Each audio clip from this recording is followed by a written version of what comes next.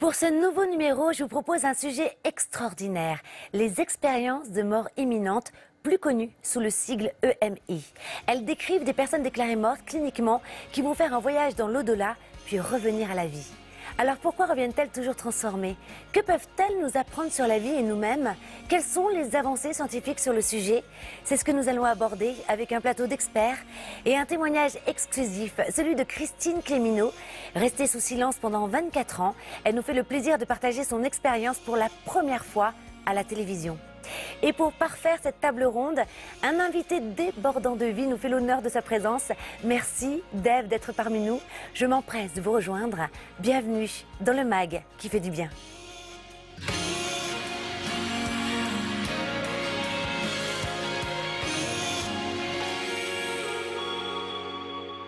Souviens-toi d'aimer. Alors c'est plus qu'un album, hein, Dave.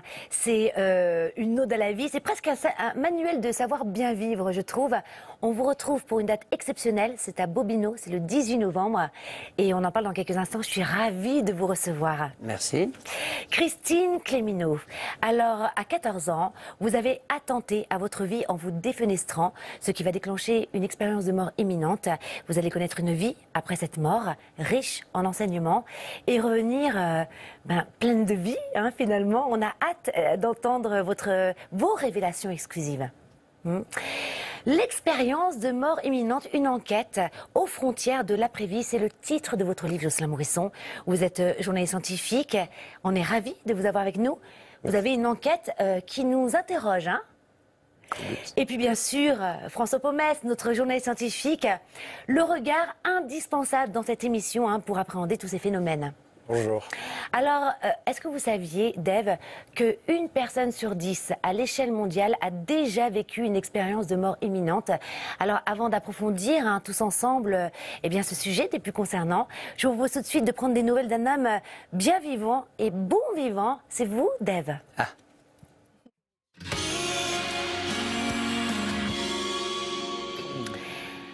Alors Dave, 13 ans que vous ne nous aviez pas gratifié d'un nouvel album original.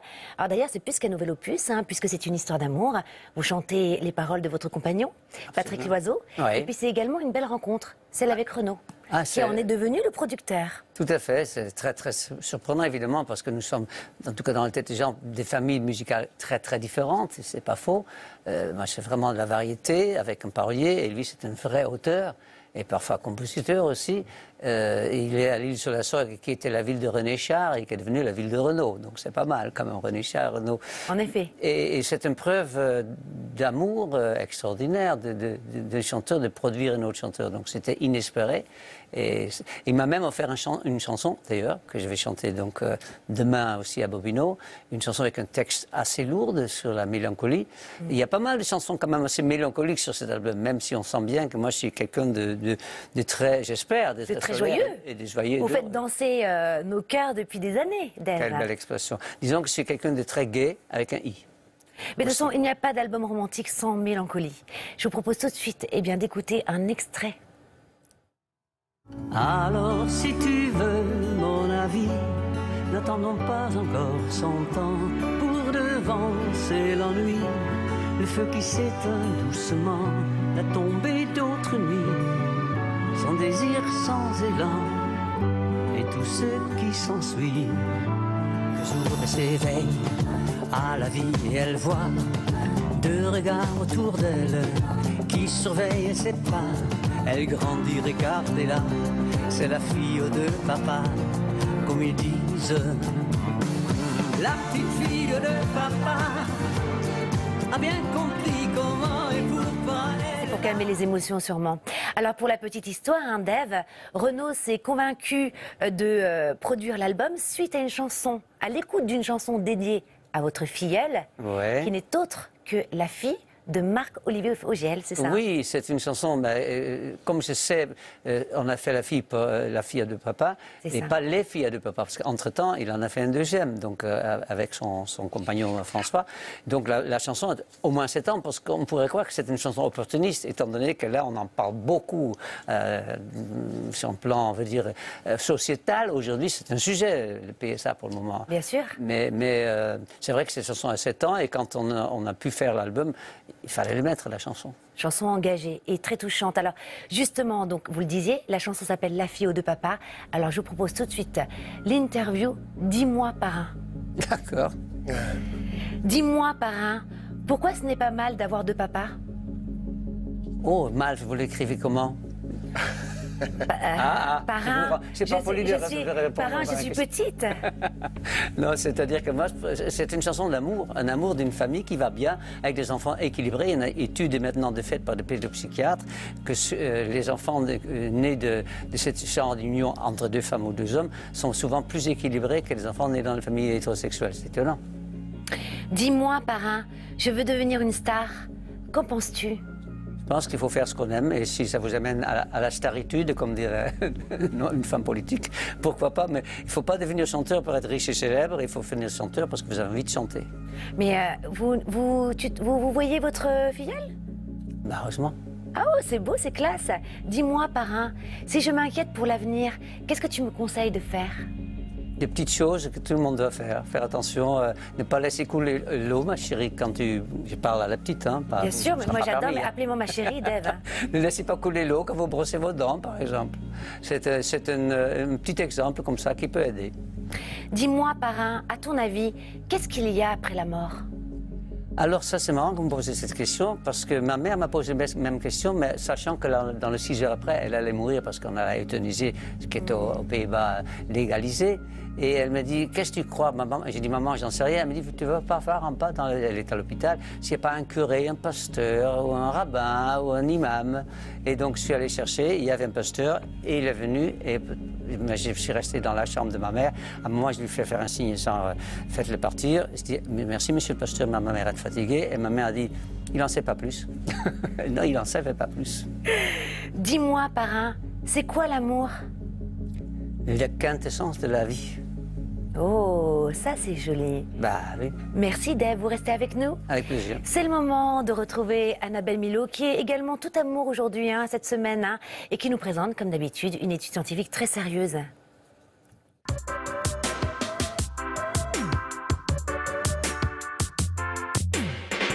Selon une étude californienne, les hommes tomberaient plus facilement amoureux que les femmes.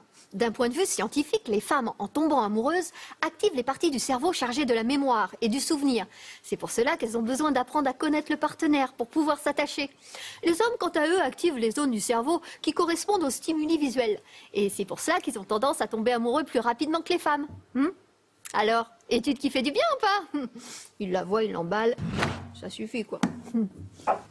Annabelle? Hmm? Je crois que je fous de toi. Ah ouais? Et comme ça Allez, c'est ça, dégage Toi et tes stimuli visuels Pauvre mec.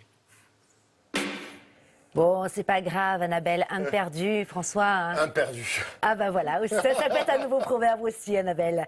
Alors, un phénomène retranscrit depuis l'Antiquité et qui nous offre des clés de compréhension précieuses pour mieux vivre au quotidien, eh bien, ce sont les expériences de mort imminente et c'est tout de suite.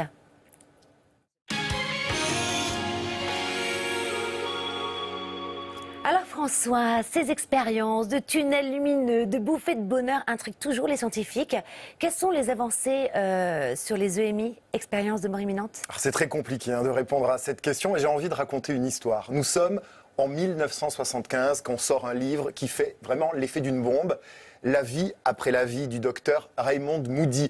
Dans ce livre, Moody raconte hein, pour la première fois son expérience de mort imminente et celle de milliers d'autres. Hein. Vous savez, euh, cet état modifié de conscience que certaines personnes vivent euh, à l'article de la mort. Alors, les témoignages, c'est ça qui est intéressant, racontent à peu près la même chose. Ce tunnel, cette lumière, ils sont très souvent positifs, parfois négatifs, mais du coup, ça pousse les scientifiques à s'interroger sur le pourquoi du comment. Et malheureusement, les, réponses ne viennent pas. Alors, on a quelques hypothèses. Est-ce que ce serait un dérèglement du cerveau? Est-ce que peut-être euh, le corps se mettrait à produire des endorphines, euh, de la dopamine au moment où le, corps lutte hein, pendant ces dernières secondes?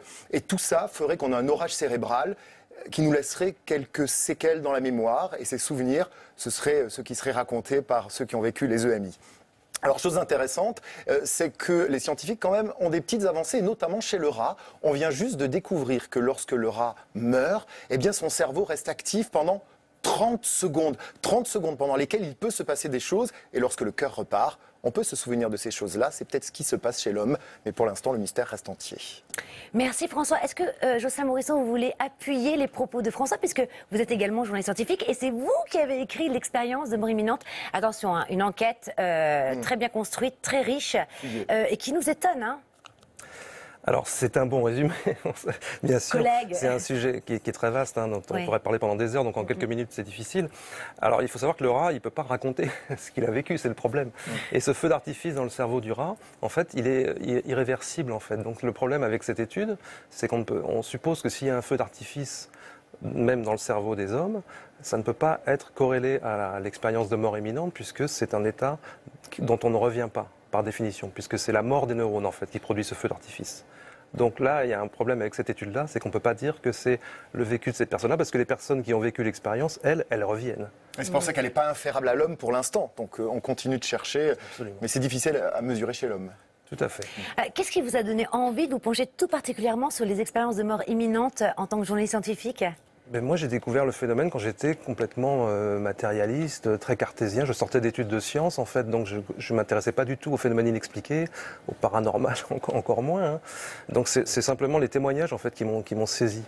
Euh, dans un livre que j'ai lu, qui était un livre universitaire, dans lequel il y avait des analyses, etc. Mais surtout, les témoignages m'ont pris euh, aux tripes, entre guillemets, parce que ça a fait probablement écho à des choses que j'avais vécues aussi dans l'enfance et pour lesquelles j'avais pas de- d'explication, j'avais pas de, de grille de lecture.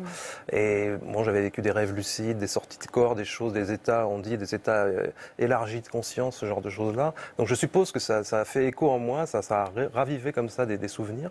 Et depuis, ce sujet me passionne. Ça va faire euh, bientôt 25 ans que je m'interroge, que je creuse en fait cette cette question. Et, et d'ailleurs, il y a un petit passage, mais passionnant. hein, de- L'histoire raconte beaucoup d'expériences de mort imminente euh, dans dans l'Égypte ancienne, déjà. hein, C'est On a fou. des hein. témoignages depuis la Grèce antique, depuis euh, le Moyen Âge, à toutes les époques vi- en fait. ils avaient déjà vécu des expériences de mort imminente. Alors, merci Jocelyn Morisson, Christine Clémineau. Vous avez 14 ans, vous avez déjà vécu beaucoup trop d'épreuves pour une jeune fille de votre âge. S'ajoute à cela la- le décès de votre maman. Vous décidez d'en finir avec la vie, sauf que dans votre plan, vous n'aviez jamais euh, pensé vivre une expérience de mort imminente. Alors, le récit intégral, moi, je l'ai entendu, il dure deux heures, il est aussi fascinant que bouleversant. hein. Mais en quelques mots, pour reprendre les mots d'ailleurs, euh, ce mot magnifique de Dave, quelle est la quintessence de cette excursion dans l'au-delà? Au-delà des sens physiques, Karine, au-delà de l'ego, oui. Oui. Euh, comme beaucoup de personnes, en effet, j'ai vécu la lumière d'amour transcendante, Mhm. le tunnel, le déplacement dans l'espace-temps. Et euh, cet être euh, lumineux que je suis et que je ne soupçonnais pas. Donc, euh, ce qui m'a surprise, c'est euh, cet amour du tout qui va du plus petit brin d'herbe euh, à l'univers total et même au-delà. Et cet univers qui s'étend et en fait qu'on a même en nous-mêmes. Du coup, cet amour, c'est notre essence profonde, c'est vraiment notre véritable être. Donc, euh, j'ai- je suis bouleversée parce que ça a transformé ma vie. Euh, il y a eu beaucoup de remises en question. J'ai découvert le sens de la vie alors que j'arrivais là avec plein de questions existentielles et un, désespoir énorme. Euh, ça m'a permis de prendre conscience de l'orientation de ma vie. Et, et c'est euh, un cadeau inestimable. C'est quelque chose que je pensais secret. C'est pour ça que j'ai gardé le silence. Et en fait, c'est une expérience qui est sacrée. Et puis, il y a aussi un passage, et là vous pouvez le souligner, euh, parce que ça peut rassurer certaines personnes, en tout cas, hein, si on vous entend, c'est que vous avez revu votre maman. Oui, je me suis rendu compte que cette expérience, euh, euh, en fait, l'esprit est infini. Euh, il ne meurt pas à la mort du corps physique. Donc, c'est rassurant. Hmm. Et euh, alors, autre point éminemment intéressant hein, dans votre récit, c'est que vous avez pu euh, voir le futur. Vous avez observé la planète bleue comme vue de l'espace, avec euh, ces cataclysmes, euh, ces maltraitances, notamment sur les enfants, la violence, tout ça qui s'accélère. Alors, vous êtes revenu. Est-ce que, euh, puisque vous parlez aussi dans votre récit hein, de ces, alors moi je les appelle, euh, on les enfin, on entend souvent les êtres célestes ou les êtres de lumière. Euh, vous donnerez votre définition, mais en tout cas on vous a donné beaucoup d'informations. Est-ce qu'on vous, vous a donné des informations pour peut-être inverser le compte à rebours qui a l'air un peu apocalyptique finalement, même si on n'avait pas besoin de vous pour le savoir déjà par les scientifiques, hein? Oui, on le sait depuis Apollo 8, hein, quoi ressemble Ouais. notre Terre, puisqu'on l'a déjà vu depuis l'espace. C'est vrai. Mais vous avez eu peut-être la même vision, ouais, peut-être la même vision que les astronautes d'Apollo cette, 8. euh, J'ai eu cette vision-là. ouais. Racontez-nous. Donc moi, j'ai, euh, j'ai- après cette expérience, euh, je ne l'ai pas tout de suite intégrée, il m'a fallu du temps. hein. Mais du coup, j'ai décidé d'être 10 ans assistante maternelle.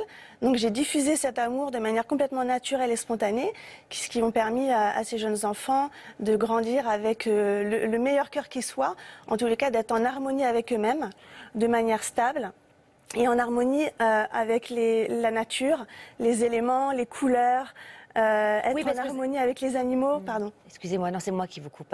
Non, parce qu'en fait, c'était important. Vous disiez aussi dans votre récit euh, que vous vous sentiez connecté du microcosme au macrocosme, hein, c'est ça? Voilà, du plus petit brin d'herbe, je vous dis, à, à l'immensité et bien au-delà. J'ai eu des connaissances euh, extrêmement précieuses qu'il m'a fallu beaucoup de temps pour réintégrer. Après, j'ai décidé de me former et d'aller dans les livres.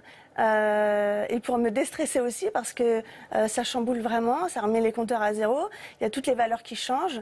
J'ai décidé de faire des pratiques anti-stress et d'ouvrir mon cabinet de relaxation profonde à Pierrefonds. En fait, ça, vous direz éveille, que- ça vous a éveillé cette C'est un expérience. terme que je voulais employer, en effet, c'est un éveil de conscience. Ouais, c'est une prise de conscience. Donc pour vous, c'est la solution pour inverser le compte à rebours? C'est-à-dire que si nous on change finalement, hein, si je reprends un peu vos mots, euh, si je le traduis euh, de façon un peu vulgaire, hein, excusez-moi, mais ça voudrait dire que si on change, l'environnement change avec nous et se transforme? C'est-à-dire que À échelle, à échelle individuelle, déjà, on est capable de faire plein de choses. On a, on a plein de moyens pour, euh, pour être euh, honnête et bienveillant. Donc, euh, si chacun fait euh, même euh, un tout petit geste, éteindre le robinet, comme disait Dave tout à l'heure, déjà, on contribue de manière bienveillante à un monde meilleur. Oui, mais alors, pour aller encore plus loin et qu'on dépasse l'écologie, hein, pour revenir sur la spiritualité, ce que vous avez ressenti, c'est que vous me disiez, je vous aide un peu parce que c'est votre premier plateau, mais vous me disiez que c'était justement aussi un changement du cœur profond de l'homme. Au-delà des gestes et des actions, on va dire qu'en découlent des actions euh, de sagesse C'est ça. par ce changement du cœur. Il y, a un rayon- il y a un rayonnement, en fait, on diffuse naturellement parce qu'on est bien et parce qu'on est heureux. Ça, ray- ça rayonne euh, dans la famille, ça rayonne dans les- autour des, des voisins euh, et à plus grande échelle dans l'humanité, en fait. Parce que moi, j'ai eu connaissance de tous ces phénomènes qui, qui font naître la souffrance. Euh, j'ai euh, les outils maintenant pour euh, théoriser ça, si vous voulez. Mais j'ai compris comment fonctionnait le mécanisme de l'esprit humain avec la dissolution des souffrances. Hmm. Et comment ça fonctionne? Donnez-nous des clients encore, excusez-moi, je grignote, je cherche. hein. Bah, en fait, on est, on est quand même responsable de sa propre vision. Tout passe par notre esprit. Donc, c'est sûr que si on décide de, de décider, on décide pas d'être malheureux, mais en tous les cas, on peut décider euh, de mettre en place des choses pour aller mieux. Hmm. Dave, vous trouvez ça farfelu ou ce genre d'expérience vous touche? Non, c'est sûrement pas farfelu parce que c'est son, son vécu et, et je le respecte. Je, je suis depuis toujours, depuis tout petit garçon, euh, me suis intéressé toujours à la science-fiction parce qu'il y a parfois des choses étonnantes euh, qu'à l'époque me semblaient impossibles et qui sont arrivées. Et notamment dans, dans un des livres de, Ray, de Raymond Brad- de Ray Bradbury, qui est un grand auteur de science-fiction, qui parle en effet des gens qui partent pour aller dans l'au-delà et qui ne reviennent jamais. Et donc il finit par conclure que c'est mieux l'au-delà que chez nous. Ça me semble assez simpliste, mais je le comprends très très bien. C'est peut-être mieux ailleurs, on ne sait pas. Et évidemment, il y a plein, plein de livres sur une quatrième dim- dimension. Euh, tout simplement, j'ai vu hier un film qui s'appelle Yesterday sur un monde dans lequel les Beatles n'existent pas. C'est c'est des idées qui m'attirent, qui me fascinent, etc. Elles, me- fascinent aussi. Mais j'ai envie d'une question tout bête. Vous êtes marié Oui, Ah ben, c'était déjà je voulais Ah savoir. oui, mais c'est ça qui, est- qui est Mais assez c'est important aussi bouleversant. pour hein. comprendre son bonheur. En Et fait, votre mari tout, vous ce, suit tout ce potentiel complètement, il me soutient, il me porte et il m'écoute. Et tout ce potentiel, c'est vraiment une joie de, de le connaître parce que si j'avais su ça quand j'allais pas bien, euh, voilà, j'aurais moins pleuré, je me serais moins effondrée parce que là, vraiment, c'est un tremplin en fait. Et vous savez que vous avez chacun ce potentiel euh, euh, de vie et d'amour en vous. Hmm. Merci. Jocelyn Morisson, alors euh, au-delà de votre expérience personnelle que vous nous racontiez il y a quelques instants, euh, après avoir fourni euh, ce travail colossal hein, sur les expériences de mort imminente qu'on retrouve dans votre livre, quelle est la conclusion du journal scientifique? Eh bien, c'est une expérience qui est initiatique. C'est pour ça qu'elle est transformatrice. L'expérience d'éveil, c'est c'est bien aussi, c'est la même idée. hein. Euh, ce que je retiens, c'est qu'il faut se demander pourquoi est-ce qu'on vivrait cette expérience aussi riche, aussi belle, aussi chargée, aussi pleine de sens, s'il n'y avait rien après. Donc, effectivement, ça pose la question de l'après. Pour moi, l'expérience dit quand même plus de choses de l'ici et maintenant, c'est-à-dire ce que nous sommes, notre nature humaine, la nature de la conscience. Est-ce que c'est le cerveau qui produit ça ou est-ce que c'est plus compliqué que ça? Mais ça dit des choses pour ici et maintenant, essentiellement. Mais dans un second temps, effectivement, il faut se demander est-ce que ça, suggère qu'il y a quelque chose après? Pour moi, oui, ça le suggère. Ça ne le démontre pas, mais ça le suggère fortement parce que on pourrait très bien avoir un interrupteur et puis écran noir et puis terminé. Alors que là, les gens vivent une expérience avec un amour incommensurable, quelque chose qu'ils sont incapables de raconter. Au début, c'est ça dépasse tout ce qu'ils ont vécu sur Terre. C'est ça qui est important. Donc, il faut se demander pourquoi est-ce que cette expérience existerait si effectivement il n'y a rien derrière. Il y a un film qui s'appelle, 20 je crois que c'est 28 grammes ou 29 grammes, qui est le poids de l'âme. C'est très intéressant aussi. Quand tout un coup on a... d'une transplantation. Euh, oui, donc ça voudrait dire qu'il y a quelque chose qui s'en va quand même aussi. Donc ça, ça nous parle évidemment, ça Il y, a, nous il y a un autre film en ce moment d'ailleurs à l'affiche, Jocelyn Morisson. Alors, il y a deux bons films. Il y a un film au cinéma qui s'appelle Thanatos de Pierre Barnarias, effectivement, qui est, qui est diffusé dans, dans le réseau cinéma, donc c'est intéressant, Thanatos. Mais il y a un très beau documentaire aussi sur Internet dans lequel figure Christine, qui Et s'appelle si la mort Et n'existait si pas la mort n'existait pas, Mm. de Valérie Seguin. Alors, euh, Christine Clémineau, un autre point très intéressant, c'est que vous avez plongé littéralement dans l'enfer, tel qu'on pourrait se le représenter finalement dans les grandes œuvres, hein, c'est-à-dire les flammes, les corps en souffrance. Et vous racontez dans votre récit que vous avez pu en réchapper en suivant la lumière. Alors, si je, le rattache à la vie quotidienne, pour tous ceux qui nous écoutent et qui vivraient dans une souffrance extrême, est-il possible de basculer justement de, de cet état d'enfer, entre guillemets, euh, et retrouver la joie Je comprends que je me suis fabriqué euh, ma réalité.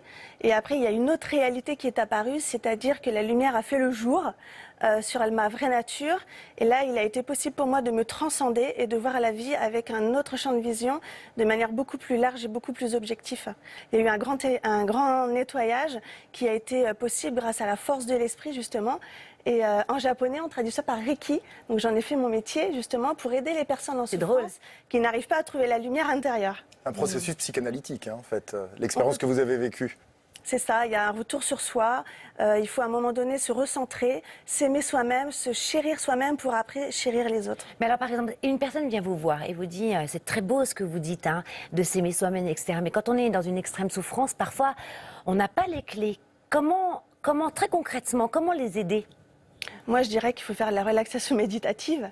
Euh, c'est faut re- se recentrer, euh, se relier à soi-même, trouver ses ressources et, euh, et- et faire une pause, en fait, se prendre du, du recul vraiment nécessairement, c'est vital. Hmm. Puis finalement, ce qui est intéressant aussi, c'est que dans votre récit, euh, vous retrouvez aussi des amis. Euh, donc finalement, être entouré d'amis de bien, c'est aussi important, j'imagine, non, euh, dans, Bien sûr, s'en sortir? Karine, oui. Parce que que ce soit en bas ou en haut, hein, quand on vous écoute, euh, Il faut toujours rester bienveillante. Il ne faut pas être nocif envers soi-même ni envers les autres. Plus on est, plus on est doux avec la vie et plus elle nous le rend. Et voilà, on est dans une paix générale. Parfois, on a rien- envie de, que ça fasse catharsis aussi. hein. On ne peut pas toujours être. euh, Après, a- je pense dit- pas que ce soit une utopie, si- sinon je ne serais pas là sur le plateau à essayer de défendre un, un os. Enfin, je veux dire, on n'en est pas là, quoi. C'est Mais beaucoup vous plus aviez, profond. excuse-moi de vous interrompre, mais vous aviez une espèce de gourou ou vous avez fait ça tout seul, ce chemin Non, c'est venu tout seul. Tout seul. Après, moi, je me suis formée quand même à la Fédération française de Reiki pour avoir cette théorie-là, pour crédibiliser et, scien- et scientifiser les, les choses, en fait. c'est un art jap- euh, japonais, il me semble, C'est hein, ça. c'est ça hein Voilà. Mais vous enlevez, la douleur aussi avec le Reiki. J'ai une amie qui pratique bien, ça. merci. Et ça marche bien, ça. Oui, en fait, je voulais dire justement que la force de l'esprit, Hmm. elle avait une, une- une capacité de guérison au niveau du corps et au niveau énergétique. On a Ben, beaucoup Justement, parlé, on en a euh. beaucoup parlé dans, dans certaines émissions. Merci Christine.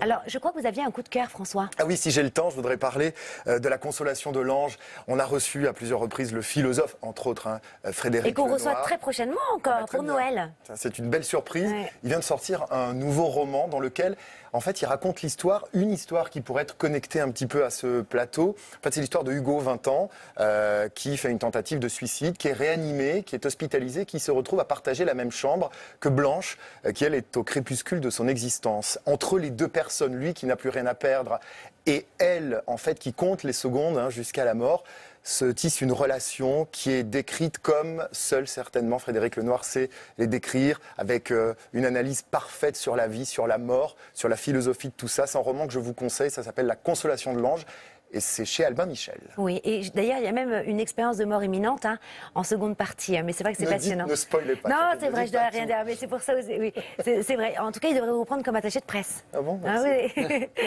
Écoutez, on a une petite, un petit rituel à la fin de l'émission, c'est de de, de, voilà, de tirer une phrase au hasard, spirituelle, et puis on peut la commenter ensemble. Euh, Allez-y, au hasard. Alors, ce sont les téléspectateurs qui nous les envoient. Donc, il y a aussi le, le prénom et la région. Vous pouvez continuer à nous envoyer des phrases. Merci beaucoup. D'ailleurs, on en a reçu euh, pas mal la semaine dernière, et elle sera peut-être tirée au sort. Vous voulez que je lise ce qu'il a écrit? Euh, Ça serait gentil. si vous avez envie. Ah, ben, J'ai complètement envie. Le mouvement, c'est la vie, et c'est Déborah, 75. Je ne sais pas si c'est son âge ou si elle est de Paris. Non, elle, est- elle est de Paris, euh, Déborah. Ben, merci beaucoup. Le mouvement, c'est la vie. Qu'est-ce que vous en pensez? Bah écoutez, moi je suis ravie d'entendre cette phrase-là parce qu'il y a toujours une dynamique, euh, de l'action, donc ça nous porte en fait. Oui, c'est le mouvement de la vie. Jocelyn Morisson, l'expérience de mort imminente. Alors, il y a aussi des témoignages dedans. En quelques mots, si on devait, si vous deviez nous raconter un petit témoignage ou quelque chose de croustillant pour donner envie d'en savoir plus. Alors les témoignages, les témoignages les plus impressionnants sont ceux dans lesquels les gens ont pu voir ce qui se passait dans la salle d'opération. Ils ont pu décrire le comportement des chirurgiens, ils ont pu décrire des appareils. Parce qu'il y a euh, un petit, y a un point quand même hyper intéressant, c'est que on parle de 30 secondes, alors que c'est des voyages qui paraissent euh, être de un an ou pour une, a éternité. Ça se passe hors du la- temps. voilà, ça se passe hors du temps. Donc la durée, elle est impossible à, à évaluer en fait. Effectivement, le- ça le peut être un arrêt cardiaque. Ça peut être un arrêt cardiaque de quelques minutes et on a l'impression de vivre une expérience qui est, qui est éternelle en fait. Donc en fait, il n'y a, jamais eu d'arrêt cardiaque de plus de 30 secondes alors? Si, si, l'arrêt cardiaque, il peut durer plus, mais s'il y a- alors? tant qu'il y a des tentatives de réanimation, le, le cerveau continue d'être irrigué. Mais l'arrêt cardiaque peut durer plus longtemps, malheureusement. Et on sait qu'au bout de 15 secondes d'arrêt cardiaque, le cerveau est en électroencéphalogramme plat. Donc c'est pour ça aussi que c'est étrange que cette expérience soit si riche, alors que le cerveau fonctionne moins bien. Et comment vous expliquez que chaque personne qui revienne soit transformée? Alors, je crois qu'il y a aussi hein, parfois des, euh, euh, des, des personnes qui reviennent un peu troublées, hein. c'est ça, hein Oui, mais c'est rare. difficile, c'est difficile à intégrer. Ça dépend Oui. de sa personnalité avant, ça dépend de sa culture, ça dépend de plein de choses. Mais il y a un travail d'intégration à faire pour lequel peut-être il faut être accompagné aussi. hein. Moi, c'est pour ça que j'organise des groupes de parole à ce sujet-là, à ce sujet-là pour se stabiliser. Et plus on se libère, et plus on est stable. Merci infiniment d'avoir été avec nous. Ça passe vite hein, quand on est bien. Souviens-toi d'aimer. En tout Ah, cas, moi, je me souviens tout le temps de vous dès que je vous écoute. Et, et depuis l'éternité, hein, on vous écoute. C'est magnifique. C'est un super album.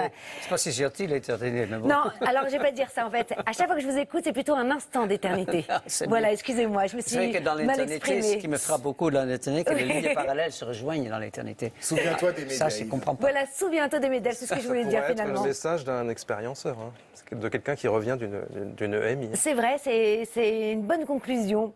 Euh, Christine Clémineau, merci d'avoir été Merci avec beaucoup, nous. Karine. Jocelyn Morisson, l'expérience de mort imminente, une euh, enquête aux frontières de l'après-vie. Merci d'être avec Merci, c'est très gentil de me nous. l'offrir. Voilà, cadeau. Et Allez. François, la semaine prochaine. Merci semaine à tous prochaine. de nous avoir suivis. On se retrouve la semaine prochaine, même jour, même heure. Et d'ici là, eh ben, on vous souhaite de vous faire du bien. Merci.